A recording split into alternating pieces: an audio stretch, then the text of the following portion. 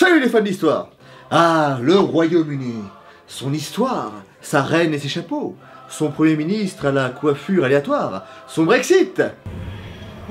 Alors oui, en soi le Brexit ne semble pas si étonnant que ça, hein, puisqu'on a un petit peu trop tendance à lire ici et là que les Britanniques, vivant sur une île, ont un peu tendance à vouloir rester entre eux, hein, plutôt qu'à chercher une coopération, voire même une union, avec le continent. D'ailleurs, cette phrase, que Churchill adresse à De Gaulle le 4 juin 1944, soit deux jours avant le débarquement, semble plus ou moins aller dans ce sens. Sachez-le, chaque fois qu'il nous faudra choisir entre l'Europe et le grand large, nous serons toujours pour le grand large. Mais en réalité, les Britanniques n'ont pas toujours été réticents à l'idée d'une union avec le continent. Et Churchill non plus. Car juste au début de la Seconde Guerre mondiale, la France et le Royaume-Uni ont failli se marier littéralement. Indeed. What?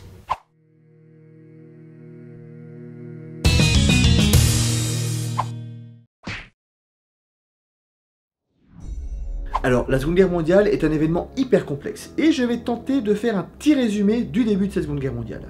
Et à propos de celle-ci, je ne peux que trop fortement vous conseiller d'aller visionner la série qu'a fait Laurent Turcot sur sa chaîne L'Histoire nous le dira.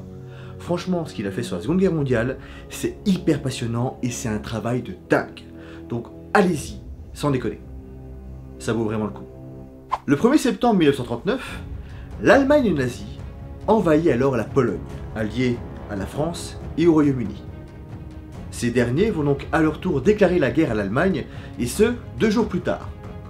S'ensuit alors sur le front de l'Ouest une phase un peu étrange qu'on a appelée la drôle de guerre, où il ne se passe quasiment rien.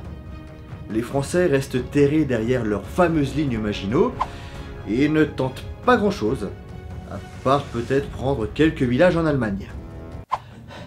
Mon général, nous avons franchi la frontière et avons pris des villages allemands. Ah, bien. Vous avez pris de la bière comme je vous ai demandé? Euh, Ouais, on, a pris des bières, oui, oui. Ah, parfait. Bon, bah allez, c'est bon, revenez. Mon général, vous voulez pas qu'on continue sur notre lancée, qu'on soutienne notre allié polonais, qu'on aille directement à Berlin et qu'on en finisse au plus vite avec cette guerre que personne ne veut vraiment Hein? Ah non, non Moi je veux juste de la bière, voilà Hum. Allez, venez, on boit un coup Allez.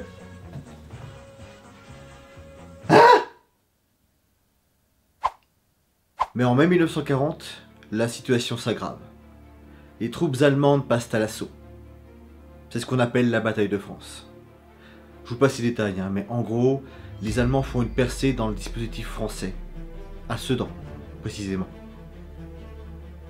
Et de là, ils vont déborder les troupes françaises et britanniques. Sedan? C'est pas là où Napoléon III en 1871 a capitulé face aux Allemands? Exactement. Je pense donc que les Allemands aiment bien Sedan. C'est marrant, tu devrais faire toute la vidéo en rimant. Euh, non. Ah. Je trouvais ça bien pourtant.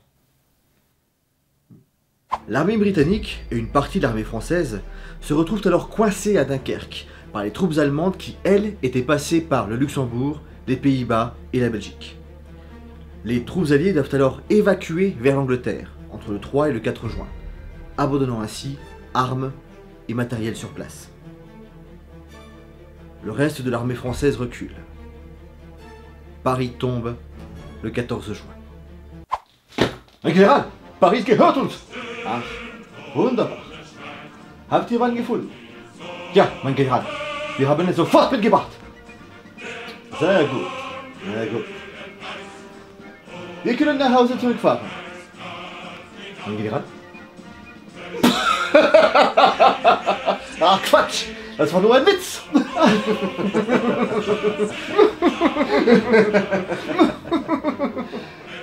Nimmt alles.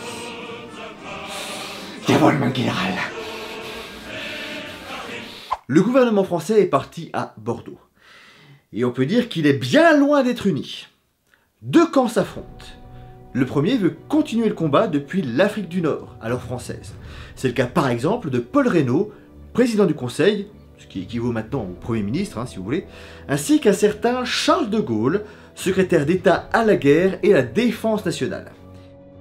Et en face, on a ceux qui sont favorables un armistice, comme par exemple le général Maxime Végan, qui en gros dirige les troupes françaises à ce moment-là, ainsi que le maréchal Philippe Pétain, qui lui est alors vice-président du Conseil. Et devant l'ampleur de la catastrophe, de nombreux entretiens entre les gouvernements français et anglais ont lieu, que ce soit par téléphone, par télégramme ou par envoi de représentants. La tension est à son comble. Une course contre la montre s'engage face à l'avancée allemande, mais surtout face à la désunion du gouvernement français. Car le camp des défaitistes mené par Végan et Pétain prend de plus en plus d'influence. Ces derniers pressent alors Reynaud de demander l'accord du gouvernement britannique pour que la France puisse demander l'armistice à l'Allemagne nazie. Et Reynaud, malgré sa volonté de continuer le combat, se voit obligé d'envoyer un télégramme à Churchill le 15 juin dans ce sens. Churchill comprend la situation, mais pousse le gouvernement français à tenir, ou propose que la flotte française soit remise aux Britanniques. En effet, la défense terrestre du Royaume-Uni est loin d'être satisfaisante face à la Wehrmacht. Ainsi, la maîtrise des mers est le plus solide des remparts pour Londres. Si la France capitule, l'Allemagne prendrait possession de la flotte française, ce qui donnerait un net avantage face à la flotte britannique. A l'inverse, si la flotte française rejoint la flotte britannique, eh bien le Royaume-Uni pourra renforcer son rempart aquatique. C'est moi qui appelle ça un rempart aquatique. Hein, je l'ai pas vu dans les bouquins, donc ne le ressortez pas. Hein, on va se foutre de vous sinon. Et c'est dans ce contexte difficile qu'arrive Charles de Gaulle à Londres à l'aube du 16 juin. Comme il traversait la Manche en avion, il n'est pas au courant du télégramme que Reynaud a envoyé à Churchill. Et ce sont l'ambassadeur Charles Corbin et un certain Jean Monnet qui lui annoncent la nouvelle. Mais ces deux hommes ne sont pas restés inactifs en attendant le général. Ils ont préparé un projet avec Robert Van Sittert, secrétaire permanent du Foreign Office, c'est-à-dire l'équivalent du ministère des Affaires étrangères. Et ce projet, c'est ni plus ni moins que l'union de la France et du Royaume-Uni. Cette union prévoit alors la fusion des assemblées des deux pays, des pouvoirs publics, la mise en commun des ressources et des pertes pendant la guerre. Bref, un véritable mariage entre les deux États. Les Français obtiendraient la nationalité britannique, les Britanniques deviendraient citoyens français. De Gaulle comprend qu'une telle union ne peut être immédiate, qu'il faudrait négocier, avec les Britanniques sur beaucoup de points. Ce qui prendrait du temps. Et du temps, ben, ils en ont pas. Toutefois, il sait que ce projet prouverait la réelle solidarité du Royaume-Uni envers la France.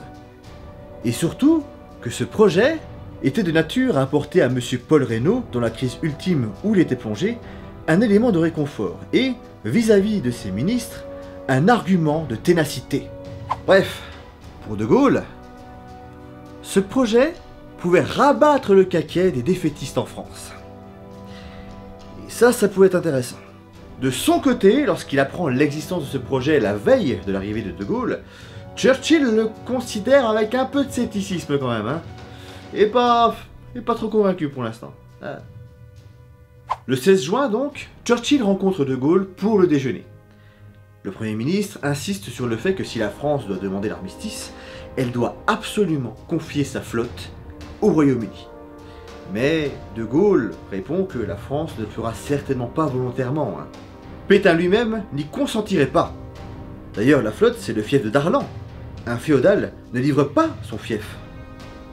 Et le général en profite pour parler du projet d'union franco-britannique. Churchill explique que c'est un énorme morceau. Ce à quoi le général répond Oui, aussi, la réalisation impliquerait beaucoup de temps. Mais la manifestation peut être immédiate. Au point où en sont les choses, rien ne doit être négligé par vous de ce qui peut soutenir la France et maintenir notre alliance. Et Churchill se range alors à l'avis de De Gaulle. La course contre la montre continue toujours, car pendant ce temps, la position de Renault au sein du gouvernement se fragilise toujours un peu plus au fur et à mesure que les Allemands avancent. Il faut donc éviter que le président du Conseil démissionne, que le gouvernement français capitule, et que les armées françaises, donc, déposent les armes. Mais la déclaration de l'Union franco-britannique doit d'abord être acceptée à Londres. Une réunion du cabinet commence à 15h, alors qu'en France, un conseil des ministres doit se tenir à 17h. De Gaulle ayant appelé par téléphone Renault, ce dernier lui explique que si avant 17h Londres émettait un avis favorable concernant l'Union, il aurait de quoi faire front pendant le Conseil des ministres en France. De Gaulle le fait savoir au cabinet britannique et, avec l'influence de Churchill, la balance, à Londres, penche du côté de l'Union franco-britannique. Une déclaration officielle est faite. De Gaulle s'empresse alors par téléphone d'annoncer la bonne nouvelle à Renault qui se montre enthousiaste. Surtout qu'en plus, Churchill prend le combiné et encourage le président du Conseil à tenir face aux défaitistes. Churchill et De Gaulle pensent avoir renforcé politiquement Renault et se montrent optimistes. Quelque temps après, De Gaulle repart en France à bord d'un avion britannique qu'on laisse à sa disposition. Quant à Churchill, il doit retrouver le gouvernement français le lendemain à Concarneau pour officialiser l'union. De Gaulle arrive à Bordeaux vers 21h30. Sur l'aérodrome, deux de ses collaborateurs l'attendent et lui expliquent le résultat du Conseil des ministres français. C'est une catastrophe. Renault a démissionné. Pétain a été nommé pour former un nouveau gouvernement. Pétain, le héros de la Première Guerre mondiale face à l'Empire allemand, va certainement demander l'armistice à l'Allemagne nazie. Comme le résume très laconiquement François Kersaudy, c'est la fin. Bah, c'est quoi cette citation? Bah quoi? Bah, je sais pas, d'habitude tu donnes des phrases un peu plus fournies. Là, c'est juste. euh, c'est la fin. Tu sais, parfois, quelques mots simples sont plus justes que des phrases à rallonge. Et puis bon, euh, niveau citation, je crois qu'on a quand même de quoi faire dans cette vidéo. hein. C'est pas faux. C'est pas faux. C'est quoi que t'as pas compris? Euh, Vidéo. Que signifie ce mot? Non mais moi j'arrête de t'expliquer des trucs, hein, sans déconner. Non mais je déconne, reviens, reviens. Eh, Explique-moi. Pourquoi Renault démissionne Il s'est passé quoi? Il n'était pas censé être renforcé avec cette union? C'est ce qu'espéraient Churchill et De Gaulle. Et Renault, évidemment.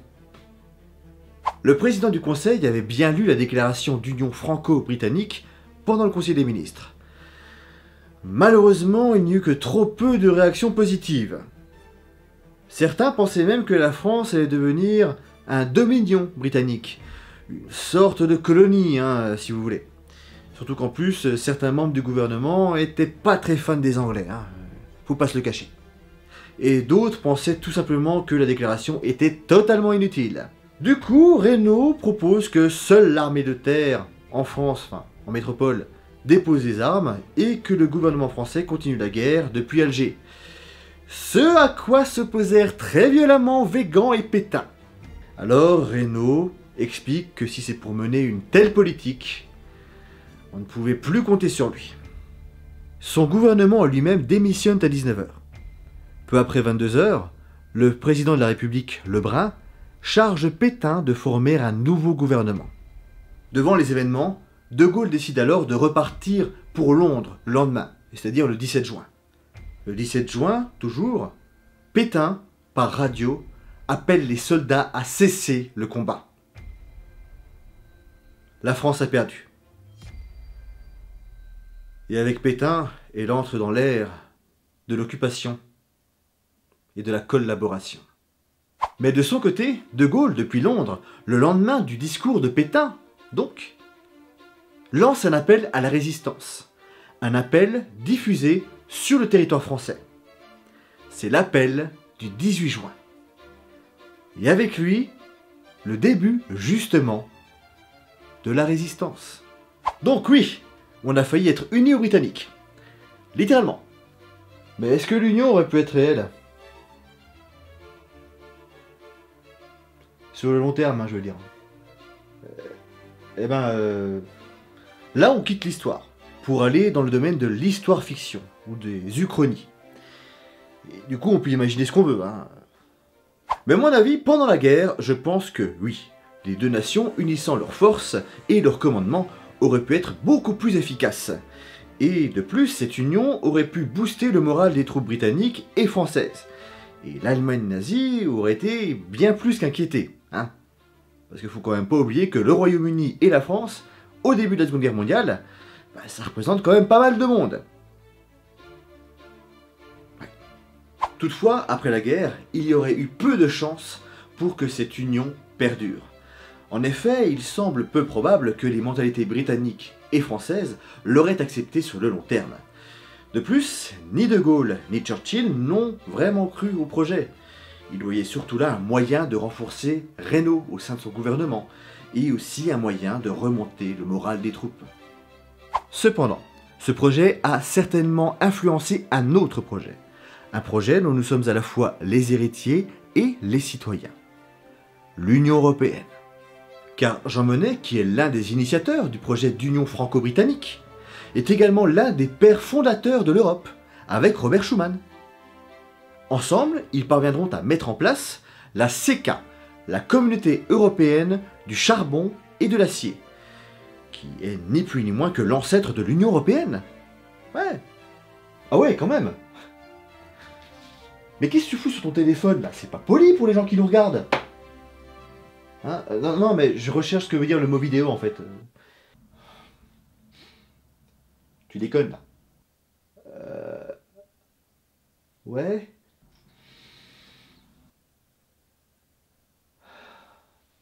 Eh merde.